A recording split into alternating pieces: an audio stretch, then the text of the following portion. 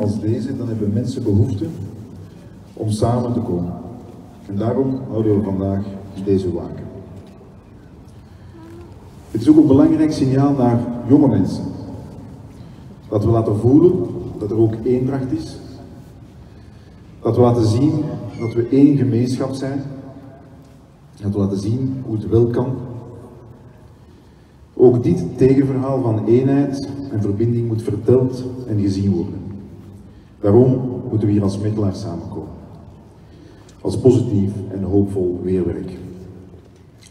Wij willen als al bij al kleine Mechelse gemeenschap laten zien dat we elkaar blijven zien als mensen, niet als vijanden, maar als medemensen. Daarom zijn we nu ook op verschillende opvanginitiatieven aan het onderzoeken om vluchtelingen ook in onze stad op te vangen.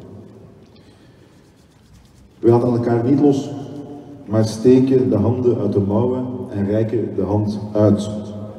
En daarvoor wordt Mechelen, en daar zijn we denk ik allemaal trots op, sinds verschillende jaren internationaal erkend. Elke dag, met vallen en opstaan, maar met de vaste wil om samenleven in diversiteit succesvol in onze stad te realiseren. Dat is de enige manier om een gemeenschappelijke en gezamenlijke toekomst op te bouwen. Dadelijk nemen we een minuut stilte in achten waarmee we oproepen tot menselijkheid. We houden een stil pleidooi, niet alleen voor het stopzetten van het conflict in Oekraïne, maar voor elk ander conflict in de wereld.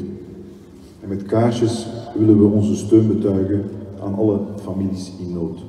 Ik vraag jullie straks om de kaarsjes die jullie allemaal, uh, ik zie hier heel veel al branden in het publiek, om die straks na het, het spelen van de Europese hymne te plaatsen aan de vlag van de vrede. Mag ik dan nu vragen om een minuut stilte te houden.